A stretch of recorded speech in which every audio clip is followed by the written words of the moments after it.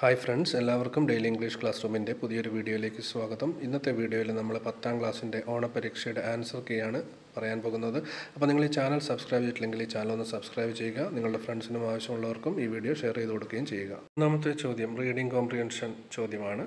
അഡ്വഞ്ചേഴ്സിന്റെ banyan tree എന്ന പാഠത്തിലെ ഒരു paragraph തന്നിട്ട് അതുമായി ബന്ധപ്പെട്ടിട്ടുള്ള ചോദ്യങ്ങളാണ്. ഈ പാരഗ്രാഫുമായി ബന്ധപ്പെട്ട് ചോദിച്ചിട്ടുള്ള ചോദ്യങ്ങൾ ഏതൊക്കെയാണെന്ന് നോക്കാം. Where did the boy build the platform എവിടെയാണ് ഈ കുട്ടി പ്ലാറ്റ്ഫോം നിർമ്മിച്ചത്? ഇരിക്കാനുള്ള പ്ലാറ്റ്ഫോം നിർമ്മിച്ചത്? രണ്ടാമത്തെ ചോദ്യം why did the grandfather grumble at the Indian marigolds അപ്പോൾ ഈ പൂക്കളോട് ഗ്രാൻഡ് ഫാദർ ദേഷ്യപ്പെട്ടത് എന്തിനാണ്? What do we infer about the boy's hobby from the passage ഈ കുട്ടിയുടെ ഹോബിയെക്കുറിച്ച് എന്ത് ഐഡിയ ആണ് നമുക്ക് ഈ പാസേജിൽ നിന്ന് കിട്ടുന്നത്? What did the boys see when he look down through the banyan leaves at the world below അല്ല താഴെയുള്ള ലോകം അത് നോക്കിയ സമയത്ത് കുട്ടി സാധാരണ കാണാറുള്ള കാഴ്ചകൾ എന്തൊക്കെയാണ്? Pick out the word that conveys the meaning strong enough to bear extreme conditions or difficult situations അപ്പോൾ ഏത് ദുഷ്കരമായ സാഹചര്യങ്ങളെയും തരണം ചെയ്യാൻ ശക്തിയുള്ളത് എന്നർത്ഥം വരുന്ന ഒരു വാക്ക് കണ്ടുപിടിച്ച് എഴുതുക. ഇത്രയും ചോദ്യങ്ങളാണ് ഈ ഒരു പാരഗ്രാഫുമായിട്ട് ബന്ധപ്പെട്ട് ഇവിടെ ചോദിച്ചിരിക്കുന്നത്. ഒന്നാമത്തെ ചോദ്യത്തിന്റെ ഉത്തരം the boy built the platform half way up the tree ഈ മരത്തിന്റെ ഏകദേശം പകുതി ഭാഗത്താണ് പ്ലാറ്റ്ഫോം ഉണ്ടാക്കിയിരിക്കുന്നത്. രണ്ടാമത്തെ ചോദ്യം ഗ്രാൻഡ് ഫാദർ എന്തുകൊണ്ടാണ് ദേഷ്യപ്പെട്ടതെന്നാണ്. The grandfather grumbled at the Indian marigolds because they insisted on springing up all over his very English garden grand ഫാദറിന്റെ ഇംഗ്ലീഷ് ഗാർഡൻ അത് അതിനിടയിലൂടെ പടർന്ന് പന്തലിച്ച് അത് അതിന്റെ ഭംഗി നഷ്ടപ്പെടുത്തിയതിനാണ് ഗ്രാൻഡ് ഫാദർ പൂക്കളോട് ദേഷ്യപ്പെട്ടത്. അതുപോലെ കുട്ടിയുടെ ഹോബിയെക്കുറിച്ച് നമുക്ക് എന്താണ് മനസ്സിലാവുന്നത്? We can infer that the boy's hobby is reading അപ്പോൾ കുട്ടിയുടെ ഹോബി എന്ന് പറയുന്നത് റീഡിംഗ് ആണ്. As he mention spending afternoons on the platform reading a variety of books ഇപ്പോൾ ആഫ്റ്റർനൂണിൽ അവിടെ ഇരുന്നുകൊണ്ട് ധാരാളം പുസ്തകങ്ങൾ വായിക്കുമെന്ന് ഈ പാരഗ്രാഫിൽ പറഞ്ഞിട്ടുണ്ട്. അപ്പോൾ അതിൽ നിന്ന് നമുക്ക് അനുമാനിക്കാം ഈ കുട്ടിയുടെ ഹോബി എന്ന് പറയുന്നത് റീഡിംഗ് ആണ്. നാലാമത്തെ ചോദ്യം. What did the boy see when he look down through the banyan leaves at the world below സാധാരണ അവൻ കാണാറുള്ള കാഴ്ചകൾ. മരത്തിന്റെ മുകളിൽ നിന്ന് താഴേക്ക് നോക്കുമ്പോൾ കാണാറുള്ള കാഴ്ചകൾ എന്തൊക്കെയാണ്? When the boy look down through the banyan leaves he show his grandmother ഹാങ്ങിങ് up or taking down the washings അപ്പോൾ തുണിയൊക്കെ അലക്കി ഉണങ്ങിയിടുന്നതാണ് കാണാറ്. അതുപോലെ the cook quarreling with the fruit vendor പഴങ്ങൾ വിൽക്കുന്ന ആളുമായിട്ട് കുക്ക് എന്താണ് വാഗ്വാദം നടത്തുന്നത്. Or his grandfather grumbling at the hardy Indian marigolds അഞ്ചാമത്തെ ചോദ്യം ഒരു വാക്ക് കണ്ടുപിടിക്കാനായിരുന്നു. ഈ അർത്ഥം വരുന്ന വാക്ക് എന്ന് പറയുന്നത് ഹാർഡി എന്നാണ്. H A R D Y അടുത്ത ചോദ്യം പോയം കോംപ്രിഹെൻഷൻ ആണ്. ഇവിടെ ബ്ലോവിങ് ഇൻ ദ വിൻഡ് എന്ന പോയത്തിലെ വരികളാണ് കൊടുത്തിരിക്കുന്നത്. ഇതുമായി ബന്ധപ്പെട്ട് ആറ് മുതൽ പത്ത് വരെയുള്ള ചോദ്യങ്ങളുടെ ഉത്തരം എഴുതുക. ആറാമത്തെ ചോദ്യം what does the word sky refer to here sky എന്ന വാക്ക് ഇവിടെ എന്തിനെ സൂചിപ്പിക്കുന്നു? ഏഴാമത്തെ ചോദ്യം why does the writer that the answer is blowing in the wind അപ്പോൾ ബ്ലോവിങ് ഇൻ ദ വിൻഡ് എന്ന് പറയുന്നതിന്റെ അർത്ഥം എന്താണ്? What impression do we get about the man when Bob Dylan says how many years must one man have before he can hear people cry? അപ്പോൾ ഈ മനുഷ്യൻ മാൻ എന്ന വാക്കിന് ഈ വരിയിൽ നിന്ന് നമുക്ക് മനസ്സിലാക്കാൻ കഴിയുന്ന കാര്യം എന്താണ്? അല്ലെ മനുഷ്യനെക്കുറിച്ച് നമുക്ക് കിട്ടുന്ന ഒരു അഭിപ്രായം ഇംപ്രഷൻ എന്താണ്? ഒൻപതാമത്തെ ചോദ്യം കൊമന്റ് ഓൺ ദ ലൈൻ ഈ ലൈനിനെ കുറിച്ച് കൊമന്റ് ചെയ്യാനാണ് പറഞ്ഞിരിക്കുന്നത്. അതുപോലെ പത്താമത്തെ ചോദ്യം ഈ ഒരു വരിയിൽ ഉപയോഗിച്ചിരിക്കുന്ന ലിറ്ററി ഡിവൈസ് എന്താണ് എന്നുള്ള ചോദ്യമാണ്. Which literary device is used in the line yes and how many times must a man look up അപ്പോൾ ഇവിടെ ഉപയോഗിച്ചിരിക്കുന്ന പോയറ്റിക് ഡിവൈസ് എന്താണെന്നാണ് പത്താമത്തെ ചോദ്യം. അപ്പോൾ നമുക്കിതിന്റെ ആൻസേഴ്സ് നോക്കാം. ഇവിടെ സ്കൈ എന്ന് പറയുന്നത് എന്താണ്? The word sky in this context symbolises freedom സ്വാതന്ത്ര്യമാണ് ഉദ്ദേശിക്കുന്നത്. ഏഴാമത്തെ ചോദ്യം ബ്ലോവിങ് ഇൻ ദ വിൻഡ് എന്നതുകൊണ്ട് എന്താണ് ഉദ്ദേശിക്കുന്നത്? The phrase blowing in the wind suggest that the answer to the question posed are obvious and available ഇതിന്റെ ആൻസർ എല്ലായിടത്തും ഉണ്ട് എല്ലാവർക്കും അറിയാം എന്നുള്ളതാണ്. Yet elusive. Answers are out out accessible to to one but people either fail to grasp them or choose to ignore them അപ്പോൾ അതിന്റെ answer എല്ലായിടത്തും ഉണ്ട് പക്ഷേ ആളുകൾക്കത് മനസ്സിലാവുന്നില്ല. ഒന്നെങ്കിൽ അവരത് മനസ്സിലാക്കാൻ തയ്യാറാവുന്നില്ല അല്ലെങ്കിൽ അതിനെ അവർ അവോയ്ഡ് ചെയ്യുകയാണ് ചെയ്യുന്നത്. അതുപോലെ എട്ടാമത്തെ ചോദ്യത്തിന്റെ ആൻസർ നമുക്ക് ഇങ്ങനെ എഴുതാം. These line suggest that the man is either wilfully ignorant or indifferent to the sufferings of the other മറ്റുള്ളവരുടെ സഹനത്തിൽ അത് ഒന്നുകിൽ അവരതിനെ അവഗണിക്കുന്നു അല്ലെങ്കിൽ അവർക്ക് അതിന് അത് കണ്ടില്ല എന്നവർ വെക്കുന്നു. Despite having the ability to hear he remains deaf to the cries for help and pain around him അപ്പോൾ ചെവി ഉണ്ടായിട്ടും ഇതൊന്നും കേൾക്കാത്ത പോലെ അവൻ ഇരിക്കുന്നു. It reflects lack of empathy and awareness of human suffering അപ്പം മനുഷ്യന്റെ സഹനത്തിൽ സഹനത്തെ നമ്മൾ കാണാതിരിക്കുന്നു എന്നുള്ളതാണ് ഇതിന്റെ പറയുന്നത്. ഒൻപതാമത്തെ ചോദ്യം ഈ വരിയെക്കുറിച്ച് കൊമന്റ് ചെയ്യാനായിരുന്നു. These lines criticise the human tendency to overlook or become desensitise to sufferings and മറ്റുള്ളവരുടെ മരണം അല്ലെങ്കിൽ സഹനം ഇതിനെയൊക്കെ മനുഷ്യൻ കാണാതെ ഇരിക്കുന്നു എന്നുള്ള കാര്യമാണ്. അല്ലെങ്കിൽ മനുഷ്യൻ അതിനെക്കുറിച്ച് വറീഡ് അല്ല എന്നുള്ള കാര്യമാണ് ഇവിടെ പറയുന്നത്. The repetition of tragic events or loss of life should awaken awareness and prompt action അങ്ങനെ ഇങ്ങനെ ധാരാളം ആൾ ആളുകൾ മരിക്കുമ്പോൾ അല്ലെങ്കിൽ ഇങ്ങനെയുള്ള സാഹചര്യങ്ങൾ ഉണ്ടാകുമ്പോൾ അതിനെതിരെ നിൽക്കാൻ മനുഷ്യന് കഴിയണം. The poet is questioning the moral blindness and indifference of humanity towards recurring tragedy അപ്പോൾ ഇത്തരത്തിലുള്ള ദുരന്തങ്ങൾക്കെതിരെയുള്ള മനുഷ്യന്റെ മനുഷ്യൻ മനുഷ്യന്റെ താല്പര്യക്കുറവ് അല്ലെങ്കിൽ മനുഷ്യനത് കാണുന്നില്ല. എന്നുള്ള കാര്യമാണ് ഇവിടെ പറഞ്ഞിരിക്കുന്നത്. പിന്നെ അടുത്ത വരിയിൽ ഉപയോഗിച്ചിരിക്കുന്ന ലിറ്ററി ഡിവൈസിന് രണ്ട് ആൻസേഴ്സ് പോസിബിൾ ആണ്. ഒന്നുകിൽ നമുക്കിത് അലിട്രേഷൻ എന്ന് പറയാം. അതുപോലെ തന്നെ ഇത് ഒരു റെറ്റോറിക് ക്വസ്റ്റ്യൻ കൂടിയാണ്. അപ്പോൾ ഇതിൽ ഏത് എഴുതിയാലും നമുക്കിതിന് മാർക്ക് കിട്ടും. അലിട്രേഷൻ ആണെങ്കിൽ ഇവിടെ how many times must a man look up അവിടെ എം എന്നുള്ള ശബ്ദം ആവർത്തിച്ചു വരുന്നു. അപ്പോൾ അതൊരു അലിട്രേഷന് ഉദാഹരണമാണ്. പക്ഷേ അതേപോലെ തന്നെ അതിന് അവസാനം ഒരു ക്വസ്റ്റ്യൻ മാർക്കും കൊടുത്തിട്ടുണ്ട്. ഇതൊരു റെറ്റോറിക്കൽ ക്വസ്റ്റ്യനുമാണ് അപ്പോൾ ഇതിൽ ഏത് വേണമെങ്കിലും ബോത്ത് ആർ കറക്റ്റ് ആൻസേഴ്സ് അപ്പോൾ ഇതിൽ രണ്ടും രണ്ടിലേതെങ്കിലും ഒരെണ്ണം എഴുതിയാൽ മതിയാകും. പതിനൊന്നാമത്തെ ചോദ്യം പോയത്തിന്റെ അപ്രീസിയേഷൻ എഴുതാനുള്ള ചോദ്യമാണ്. അപ്പോൾ നമുക്കിവിടെ ഒന്നാമത്തെ പാരഗ്രാഫിൽ ഈ പോയത്തിന്റെ ഒരു ആശയവും രണ്ടാമത്തെ പാരഗ്രാഫിൽ ഇതിൽ ഉപയോഗിച്ചിരിക്കുന്ന പോയറ്റിക് ഡിവൈസസ് ഒക്കെ ചേർത്തുകൊണ്ട് നമുക്ക് നല്ലൊരു അപ്രീസിയേഷൻ എഴുതാവുന്നതാണ്. ഒരു മോഡൽ അപ്രീസിയേഷൻ നിങ്ങളിവിടെ കാണിക്കുകയാണ്. ഇതേപോലെ ഒന്നാമത്തെ പാരഗ്രാഫിൽ ഈ കവിതയുടെ ആശയങ്ങൾ എഴുതുക. രണ്ടാമത്തെ പാരഗ്രാഫിൽ ഇതിൽ ഉപയോഗിച്ചിരിക്കുന്ന പോയറ്റിക് ഡിവൈസസും എഴുതുക.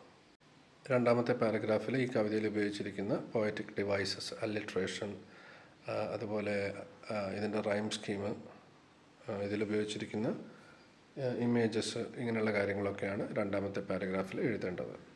അടുത്തത് ഒരു ജനറൽ പാരഗ്രാഫാണ് ഈ പാരഗ്രാഫ് വായിച്ചിട്ട് ഇതുമായി ബന്ധപ്പെട്ട കുറച്ച് ചോദ്യങ്ങൾ അഞ്ച് ചോദ്യങ്ങൾ താഴെ കൊടുത്തിട്ടുണ്ട്. അതിന്റെ ആൻസറാണ് എഴുതാനുള്ളത്.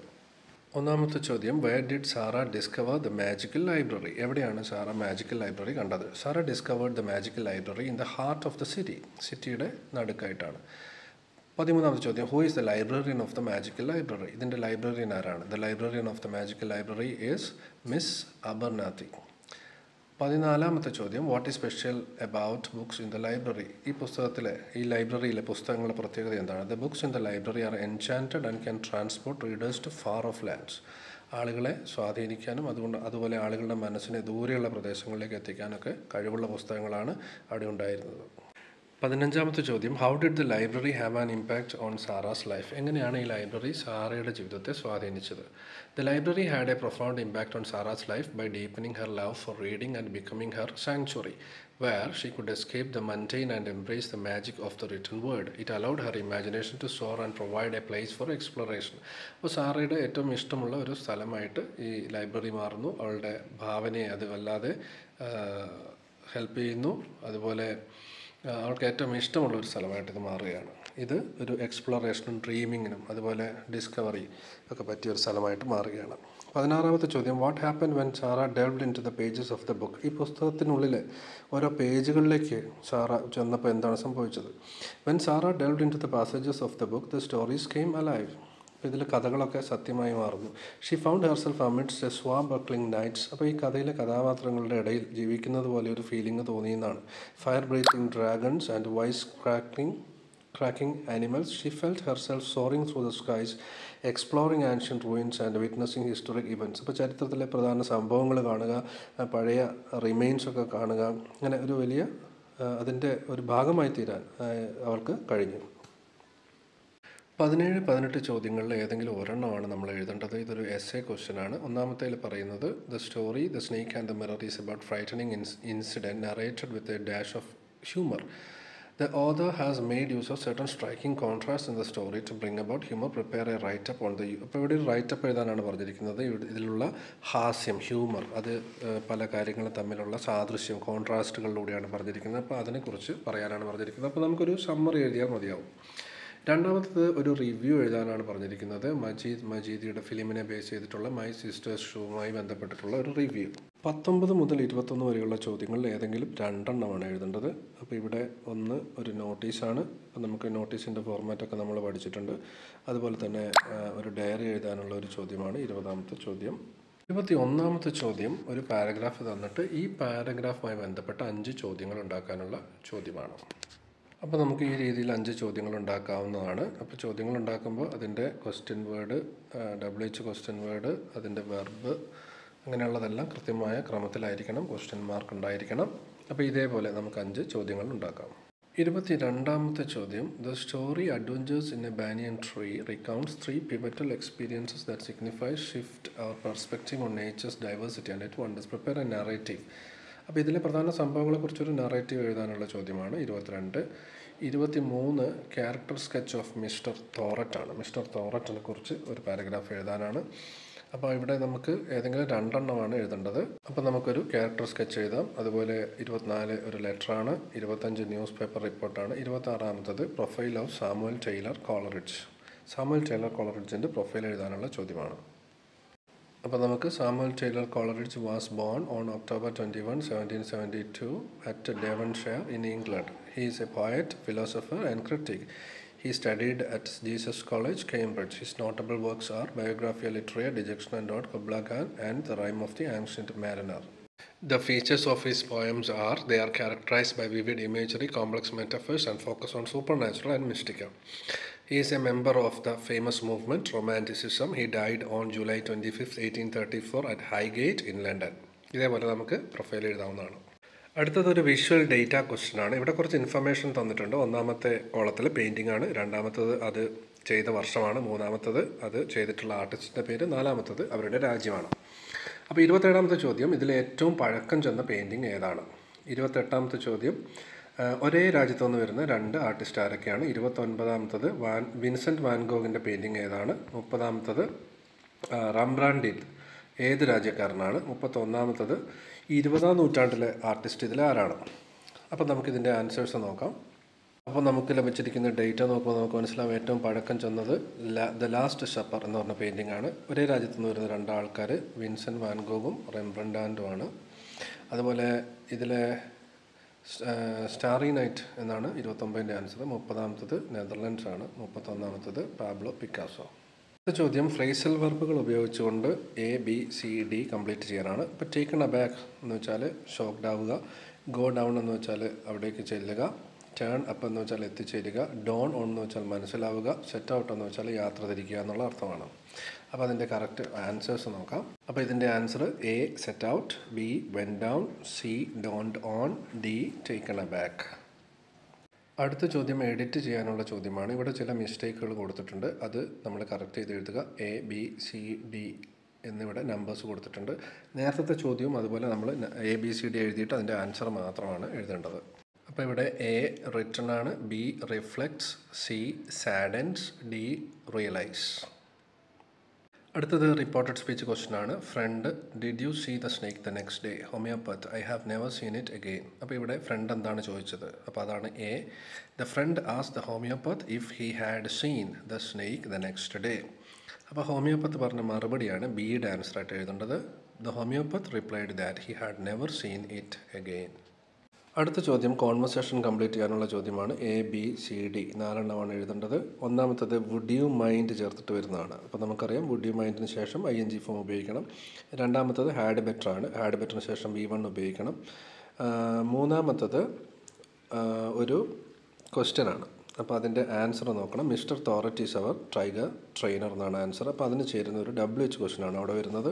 അവസാനത്തത് ഒരു ക്വസ്റ്റ്യൻ ടാഗാണ് അപ്പോൾ ഒന്നാമത്തതിന്റെ answer would you mind arranging അവിടെ ഐ എൻ ജി ഫോം വേണം a tiger for the shoot രണ്ടാമത്തത് you had better ensure the safety measures are in place മൂന്നാമത്തത് ഒരു ക്വസ്റ്റ്യൻ ആണ് W H question who is the tiger trainer നാലാമത്തത് question tag won't he എന്നാണ്. അടുത്ത ചോദ്യം ഒരു പാരഗ്രാഫാണ് ഇതിലെ കറക്റ്റായിട്ടുള്ള വാക്കുകൾ ഉപയോഗിച്ചത് കംപ്ലീറ്റ് ചെയ്യുക. അവിടെയും എ ബി സി ഡി എന്ന് കൊടുത്തിട്ടുണ്ട്. എ ഹൂ ആണ് B at C but D that അടുത്ത ചോദ്യം തന്നിരിക്കുന്ന രണ്ട് സെന്റൻസുകളിലെ നൗൺ ഫ്രേസ് ഇൻ സബ്ജക്റ്റ് പൊസിഷനും വെർബ് ഫ്രേസും എടുത്തെഴുതാനുള്ള ചോദ്യമാണ്. അപ്പോൾ ഒന്നാമത്തെ സെന്റൻസിലെ വെർബ് ഫ്രേസ് നമുക്ക് എളുപ്പത്തിൽ കണ്ടുപിടിക്കാം. വെർബ് മുതൽ ഫുൾ സ്റ്റോപ്പ് വരെയുള്ള ഭാഗം വെർബ് ഫ്രേസ് ആയിരിക്കും. മറ്റ് ഭാഗം അതിന്റെ noun phrase in subject position ആയിരിക്കും.